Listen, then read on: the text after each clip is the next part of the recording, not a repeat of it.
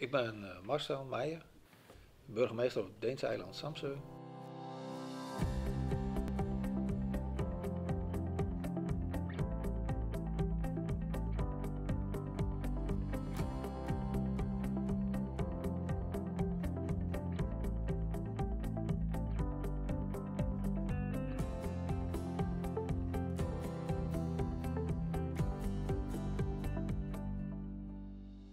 Nou, het, uh, het verhaal daarachter is eigenlijk wel een beetje dat uh, er wordt heel veel over uh, de veranderingen van het klimaat gepraat. Er worden heel veel plannen gemaakt over hoe je dat op zou moeten lossen door je energie te gaan veranderen naar duurzame energie. Maar er wordt niet zoveel aan gedaan nog. En op Samsung hebben we er ook heel veel over gepraat. Maar we hebben ook heel veel maatregelen getroffen dat we CO2-neutraal geworden zijn, al, eh, al in 2008. Eh, en we hebben als eh, richtlijn genomen dat in 2030 alle fossiele brandstoffen van het eiland af verbannen moeten worden. De realisering van het plan, niet, zo, ja, niet zozeer vanaf de gemeente, vanuit de overheid, maar veel vanuit de privé privésector. De werkloosheid was vrij groot op het eiland op dat moment. En men zag een mogelijkheid om met de lokale werk, uh, werknemers, uh, werk, uh, werkgevers en met lokale middelen, biomassa, een energiesector te creëren die arbeidsplaatsen schiep op het eiland. En daar is men mee begonnen en gedurende tien jaar is men, is men zover gekomen. Hadden we eigenlijk, had eigenlijk niemand verwacht in 1998 dat we daadwerkelijk CO2-neutraal werden. Voor ons betekent dat dat we net zoveel CO2 uitstoten als dat we, we terughalen. Dus uh, wij gebruiken voor verwarming veel biomassa. Dus de CO2 die je uitstoot, die haal je ook weer terug in de biomassa.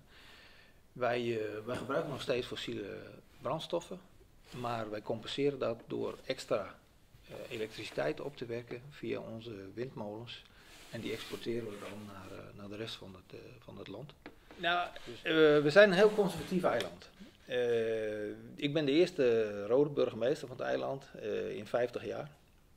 Dus, dus, op zich is het niet zo dat we uh, echt allemaal vooraan gaan staan als er, als er omgesteld moest worden naar, naar, naar, groene ontwikkelingen.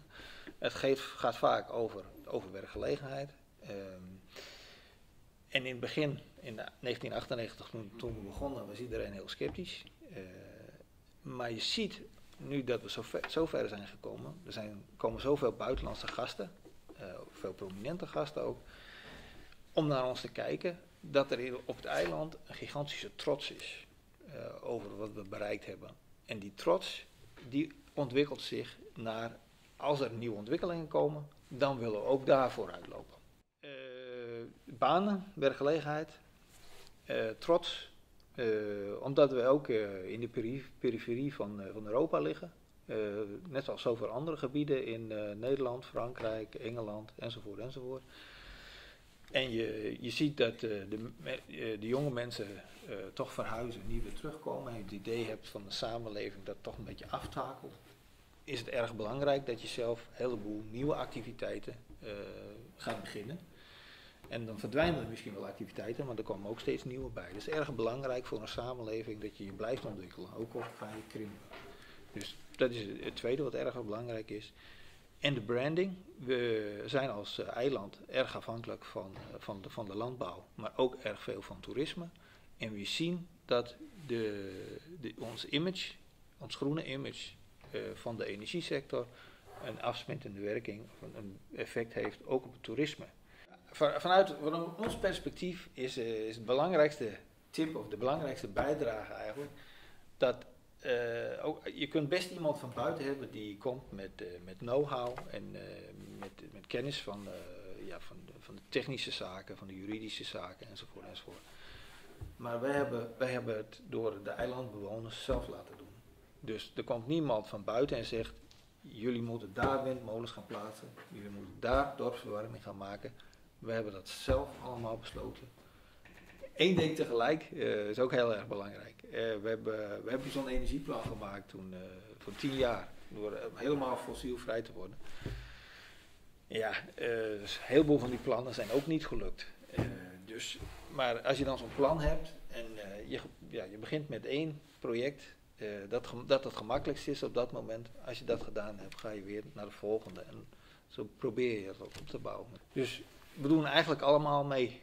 En ik krijg vaak de eer de medewerkers van onze energieacademie die krijgen ook vaak de eer, maar eigenlijk staan de 3700 uh, inwoners van Samsung achter die, uh, die prestaties. Dan, uh, als je dan bezoek krijgt van, de, van prominente gasten, nou we hebben het Nederlandse koningspaar gehad, de eerste president, een heleboel ambassadeurs. als die op bezoek komen, dan, dan heb je wel iets van, nou, kijk, dat hebben we toch voor elkaar gedaan en we hebben het met z'n allen gedaan.